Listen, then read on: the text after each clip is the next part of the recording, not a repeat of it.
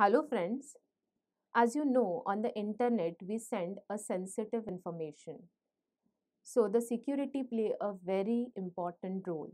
So today in this lecture we discuss about how the security is achieved with the help of different algorithm and the different techniques.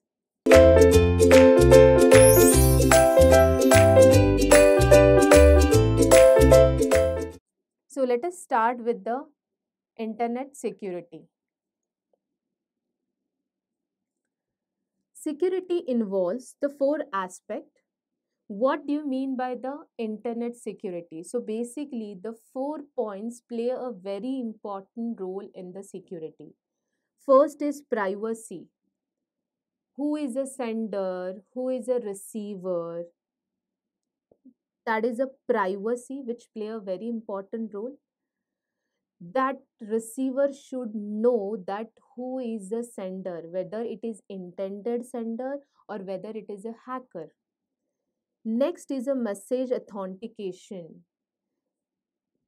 Third part is message integrity and the fourth part is non repudiation so let us discuss about all this part in detail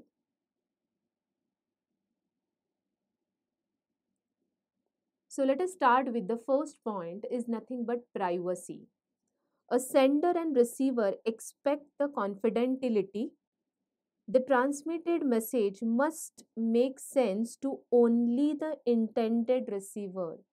So whatever the message which is sending by the sender, it should be reached to the intended receiver. To all other the message must be unintelligible. Now, see here that whenever, as you know, your packet is passing through the internet and there will be hacker who try to hack the information so even the hacker got that message he should not understood what the message is or it should not encrypt the data so only the intended receiver is able to decrypt the message. So this is called as a privacy. Whatever data you are sending, it should not hack by any other receiver. It should reach to the intended receiver or the intended receiver only able to decrypt it for all other users should not able to decrypt that message so that is called as a privacy Next point is authentication. So the receiver is sure that the sender identity. So what is important? For example, the client and server connection. So it is not every time necessary that only you have to find whether it is an intended receiver. The receiver also has to check that whether it is intended sender. So the sender and the receiver. Both the authentication is very important. Who is sending and who is receiving. So that is done in the authentication part. Next is integrity. So basically here we are talking about the data integrity. The data must arrive at the receiver exactly at it was sent. So basically for example in the bill gateway whatever amount you need to pay, the same amount is received by the receiver. If you make any changes, then that information should be stored at the receiver. So whatever data you are sending, the exactly the same data or the same amount is received by the receiver. You can't make the changes or the intermediate person cannot make the changes so that is nothing but the data integrity. Whatever the message is sent by the sender, exactly as it is, it is reached to the receiver.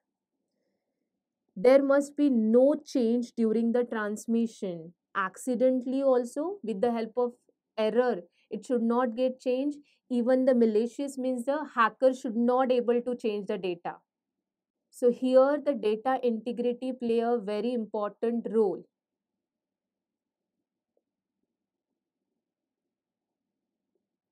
Now let us discuss the next point is non-repudiation. So what do you mean by that? A receiver must be able to prove that received message is come from the specific sender so here in this case the receiver has to keep a record who is a sender that is called as a non repudiation the sender must not able to deny sending a message that he in fact did send. So here in this case the receiver has to keep record that this message is come from this sender this message is come from this sender. For example just now we discussed the bill gateway that sender a from sender a i received 1000 from sender b i received 2000 so all this record he has to keep the burdens of proof fall on the receiver. So in that case this message is come from the sender. For that receiver has to keep certain proof. So from that he can prove that this message is come from the particular sender. For example internet banking. In that case what you do? You can transfer one amount from sender a to sender b. In that case the bank has to keep record that you have transferred this amount on this date on that time. So all the information the bank has to keep. The bank must prove that the customer is actually request this transaction. So in that the bank has to keep the proof that this transaction is done by the customer or initiated by the customer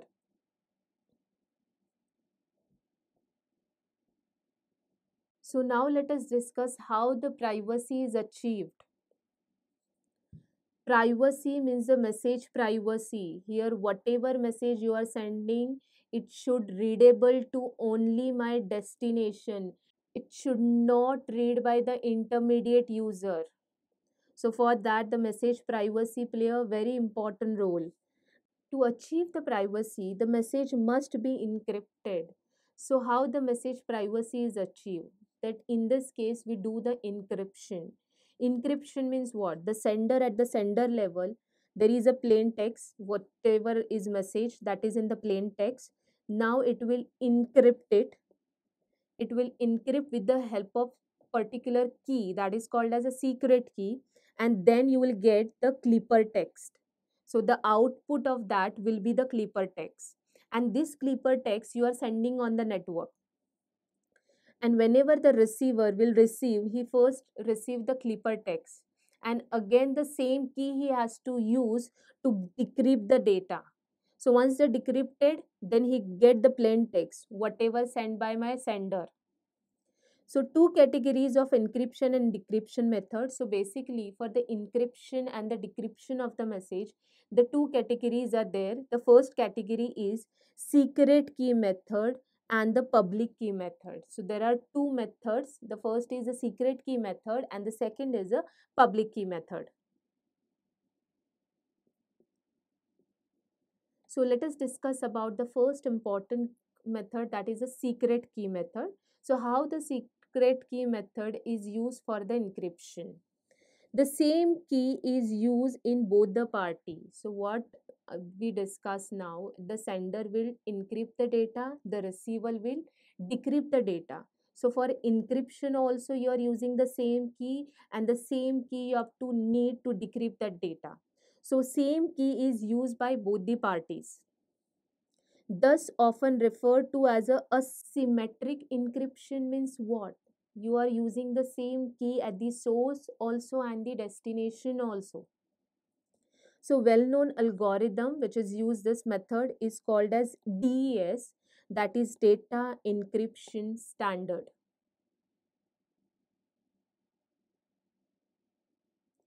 Now how to achieve the encryption using the secret key? Let us discuss about that. Algorithm is used for decryption is the reverse of algorithm used for encryption. So basically the algorithm which is used for encryption, the exactly opposite you have to use to decrypt that data. For example, if the encryption algorithm use a combination of addition and multiplication now we are just taking the example that al- algorithm your encryption algorithm is consist of addition and multiplication at the receiver you have to do the inverse of it so instead of addition you have to subtract it. Multiplication you have to divide it. So the decryption algorithm is a combination of division and subtraction. So basically exact inverse is done at the receiver to decrypt that data. Now see here. This is my sender and this is my receiver. Now initially it was the plain text and the plain text with the help of secret key you will do the encryption and then you will get the cipher text. And this cipher text is travel through the network. So whenever it is reached at the receiver that is a cipher text and again the same secret key he has to use to decrypt the data. And once the decryption he got the plain text and then it is forwarded to the destination so intermediate any hacker try to hack that message but he is not able to decrypt it because he don't have the secret key. So that message cannot be decrypted by any other user. In such a way the security is provided to the message you are sending on the network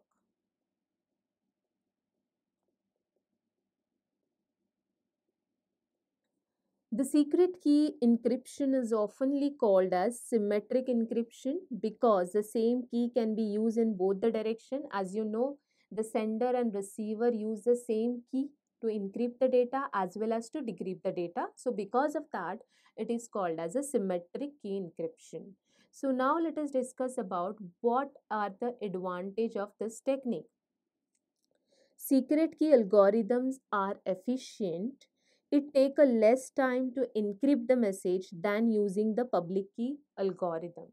So as we know for the encryption we are using the two technique. The first is what? Secret key and the second is a public key method. So basically the secret key will take a less time as compared to that of public key algorithm because key is usually smaller. So here whatever secret key we are using it is a smaller so basically, the secret key algorithm is used to encrypt or decrypt the long message because here the key is small. So your encryption and decryption is done in faster way. So basically, that is used for the long messages. So let us discuss about what are the disadvantage. Each pair of user must have the secret key if n people want to use this method then they need n n minus 1 by 2 secret key. Now we let us take an example. There are n user then you need n into n minus 1 by 2 secret key. The distribution of key between the two parties can be difficult. Now the secret key whatever the source is sending the same key you need to send to the destination. And as you know there are many connections. For many connection there are different secret key. And sending the secret key to the specific destination that is also a very tedious task. So let us discuss how this problem is overcome. Key distribution center. So now let us discuss about it a secret key encryption, the two parties must agree to share the secret key. So the source and the destinations are agree to share the secret key. However, those two parties may never in contact with each other. So it is possible the source and destination never contacted each other. They don't know any information about each other. Then the one acceptable solution is that for both to trust a third party and that is called as a key distribution center. So basically the both party has to trust on some other that is a third party that is called as a key distribution center. So this third party will take care of the distribution of keys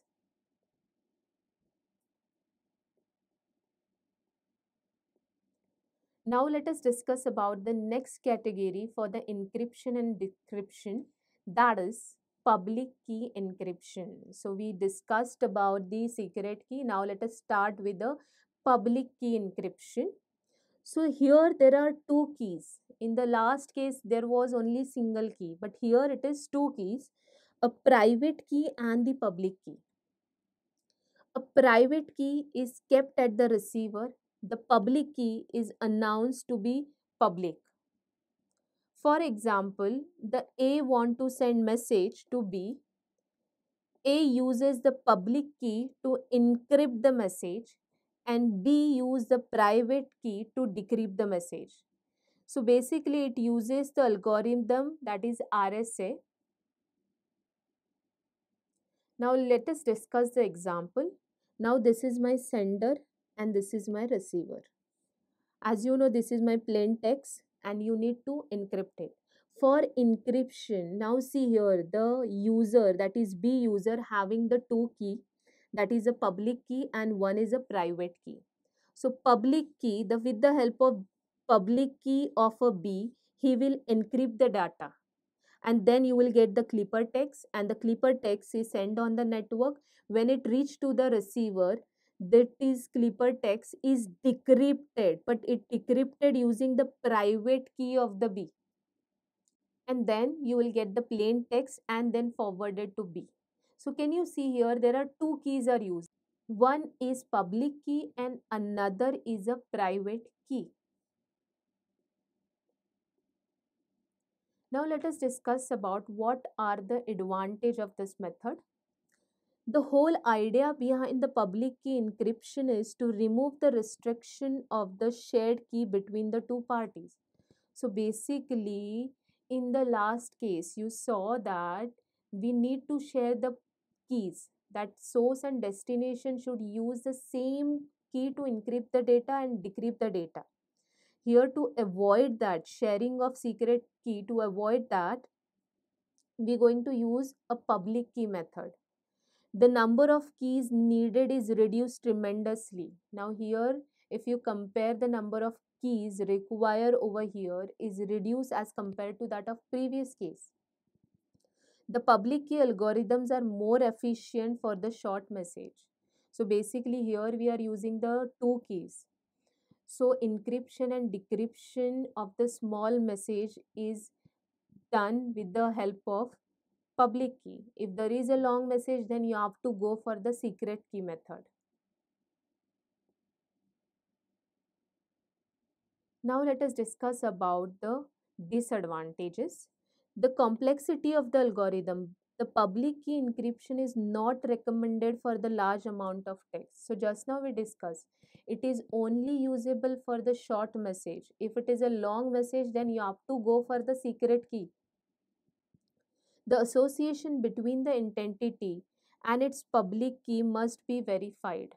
Association means what? There is a special connection is formed between the sender and receiver that is called as association and its public key. So whether the public key is belongs to only that user that also you need to verify you need to verify the connection and as well as you need to verify the key also that key is related to the particular user that is also very important. So for example a want to send its public key via an email to b. Now for example a send the public key to the b via email. But A must make sure that this public key is really belongs to A or nobody else. So in that case, the B has to verify whether whatever the key sent by the A, whether it is belongs to it only or no one else. So he has to verify that. So the what is the solution for this? The solution is certification authority. So that is the verification this the particular key belongs to which user that is certified by this certification authority.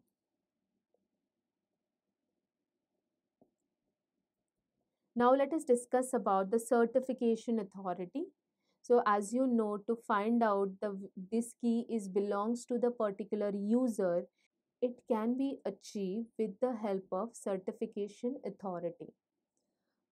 public key encryption need the owner of the public key must be verified. So in public key hmm. encryption the owner of the public key must be verified. Thus the certification authority is a agency that bind the public key with an entity and issue the certificate. So basically the certification means what? Certification authority means what? The particular key he going to bind this key belongs to a this key belongs to b this key belongs to c. So he do the binding the binding of the key and the particular host or entity. And then he issue the certificate. And the ca can verify the binding between the public key and the owner so he verify the all that verification part whether this key belongs to this user or not all this part is done in the certification authority.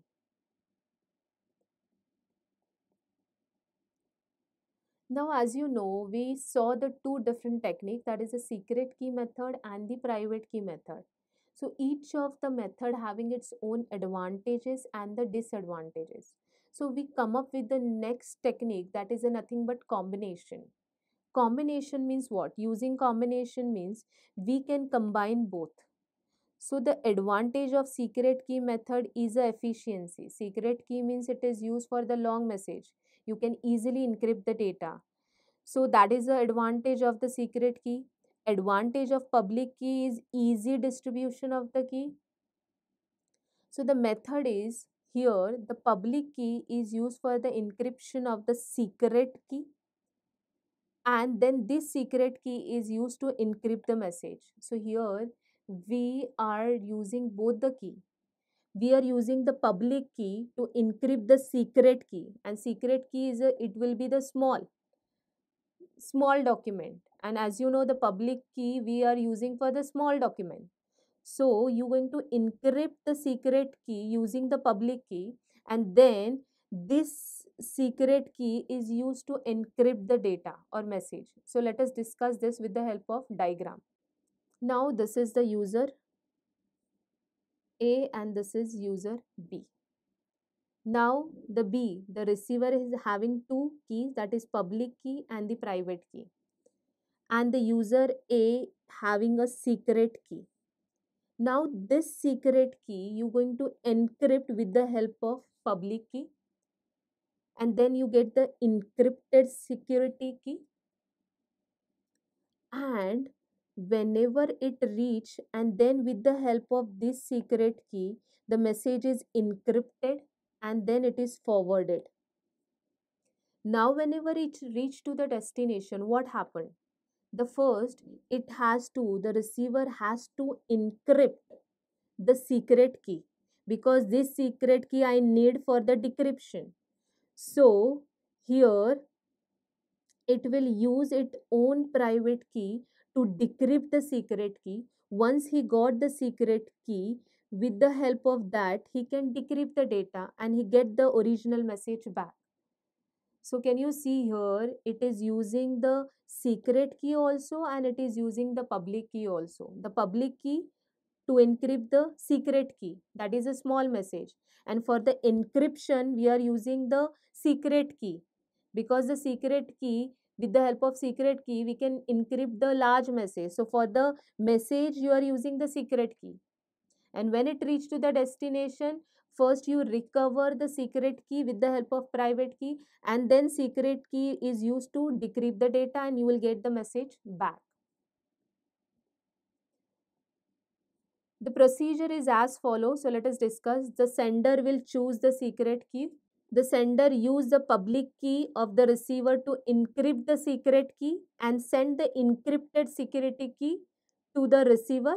Now what is the next case? He choose the security key he used the public key to encrypt the security key and then it forward to the receiver. Since the public key method is good for the short message, so we for the short message means here it is a used to encrypt the secret key which will be a small. A secret key is a short text message.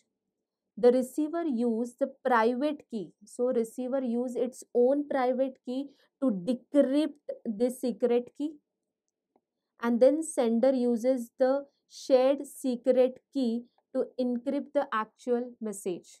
To have the advantage of both secret key and public key encryption we can encrypt the secret key using the public key encrypt the message using the secret key. So here we are using both the key that is nothing but secret key as well as public key. The secret key it is using the public key to encrypt the sec- secret key and then this secret key is forwarded to receiver. The receiver will use its own private key to encrypt the secret key. Once he got the secret key with the help of that secret key he will decrypt the data and get the original message back the next hmm. method is a digital signature. A privacy has been achieved above. The other three methods can be achieved using the digital signature. Now see here with the help of secret key and the private and public key we can achieve what? We can achieve the privacy of data now what is the next remaining three part? That is authentication next is integrity and the non repudiation now we have to achieve this. So this can be achieved with the help of digital signature. Now let us discuss how to achieve that. So here the two choices are there. Sign the entire document or sign the digest so that is a condensed version of the documents. It can be achieved by the two ways. So what do you mean by signing the whole document? The public key encryption can be used to sign the document. So here which key is used? Here we use the public key to encrypt the signed document. However, the role of public and private key are different here sender uses a private key to encrypt the message and the receiver use the public key to decrypt the message. In the last case you know the my receiver we are using the key of receiver both the public and private. But here we are using the key of sender. We are using the sender private key to encrypt the data and then receiver has to use the public private key of the sender to decrypt the data. So exactly vice and versa Now see here, instead of B, we are using the keys of A, that is a private and the public key. So with the help of private key, the plain text is encrypted and you get the cipher text and through the network it reach to the receiver and now this cipher text I need to decrypt it. So for that it is using the public key of the sender and then it decrypted and forwarded to the destination. So this is done in signed whole document.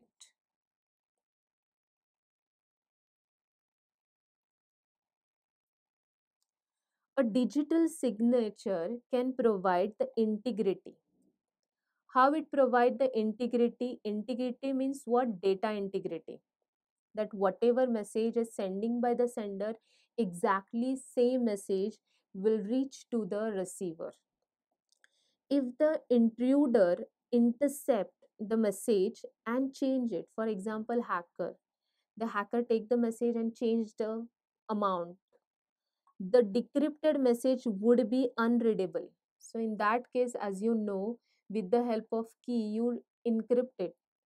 So even the intruder try to make the changes. When it reach to the receiver the receiver will decrypt it and it, it will be unreadable he will not get the exact same message. Next is authentication. How the authentication is achieved because both my public key and the private key are there with the sender. The public key of the sender because the private key is there with the sender. With the help of that private key, it will encrypt the data and the receiver has to use the public key of A to decrypt the data so in such a way, the integrity is achieved. Next is authentication. If the intruder X send the message and pretending that it is coming from the user G. Now here it is showing that the message is coming from the G. However, the X must use her private key for the encryption. As you know, the X will use its own private key for the encryption. But at the receiver will decrypt the message using the G public key. So as you know, now if that data is coming from the G, so it will use its G public key to decrypt the data and then he will not get the or he is not able to decrypt the message so thus the message would be unreadable now see here my sender is x but it is pretending that that message is sending g. So in that case my receiver instead of using the public key of x he will use the public key of g and he is not able to decrypt the data. So in this case, the authentication is also achieved because this if sender X is sending the message, then of course the public key of the X is used. If the sender is G, then he will use the public key of G to decrypt the message. So here in this case, the authentication, the receiver can verify also who is the sender.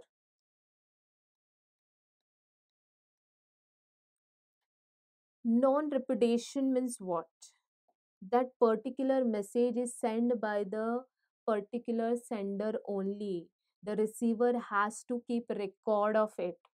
That 1000 amount i get from this sender 2000 amount i get from this sender. So all the record he has to keep with it. If the sender denies sending the message however it does send. For example it may possible that sender will send i didn't send this message. So in that case the receiver has to keep a proof that this message is come from the particular sender. So we can test the message using her private key and the public key. So as you know as you know the sender uses the private key as well as public key the private key to encrypt the data and the sender public key is used to decrypt the data so from that we come to know that particular message is come from the which sender because for that you will going to use that sender public key the digital signature does not provide the privacy. So basically it will provide all three facility that is authentication he will provide you the data integrity he will provide you the non-repudiation but the privacy is not provided and if there is a need of privacy another layer of encryption and decryption must be applied over here. So that added facility is provided by the other layer.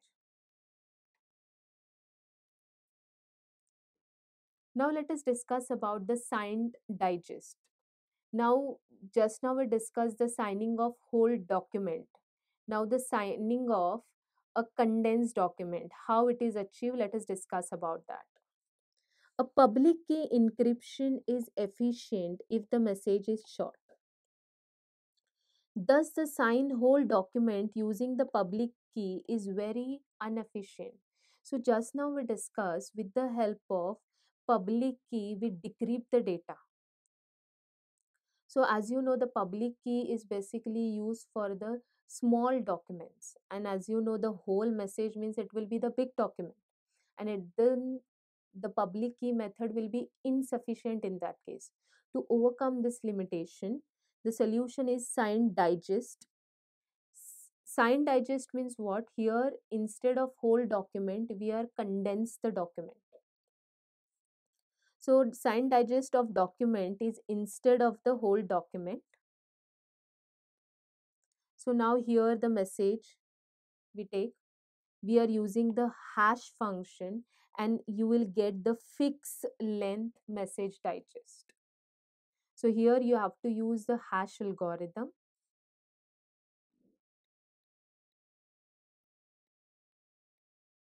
Now let us discuss how to create the signing digest. So however to create the digest of the message use the hash function that create the fixed size digest from the variable length message. So from variable length you will get the digest of the fixed size. Commonly the hash function is used. So my message is variable length. With the help of hash function you will get the digest and which is of fixed length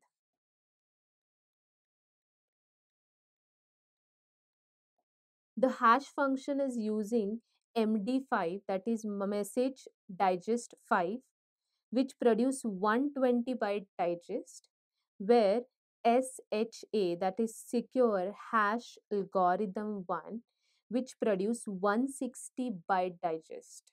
So according to requirement you can select any one.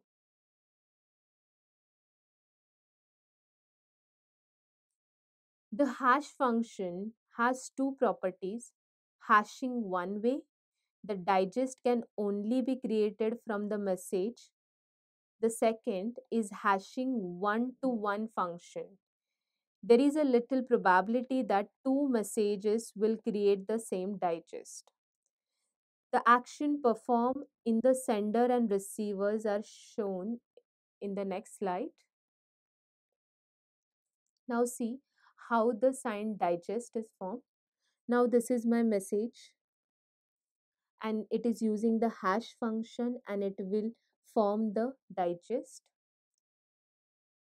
Now it will be encrypted. This digest will encrypted by using the A private key and then you will get the signed digest and then it will be forwarded. So now your message will be message plus signed digest and then it is forwarded to B. So here you are using the hash function also. You are using the private key for encrypting the digest. Now let us discuss what happened at the receiver. So my receiver got the message. So message is containing two part. The first is message and second is digest. Now message, message is using the hash and it formed the digest. Then again it use the a public key and it will decrypt the data. And then he got the digest. Now this and this digest is compare and you can find out what is the message. So here we are using the hash function also and here, here we have to use the public key also digest is secure in terms of integrity, authentication, and the reputation. So it will provide you a three important features that is integration means it will provide you the data integrity. Whatever the data sent by the sender it will reach to the receiver. Next is authentication who is a sender who is a receiver that also identified non-repudiation means a particular message is come from which sender that proof you need. A receiver has to keep that proof. That is also possible with the help of digest. So in such a way we can achieve the network security with the help of different algorithm or the different technique. Thank you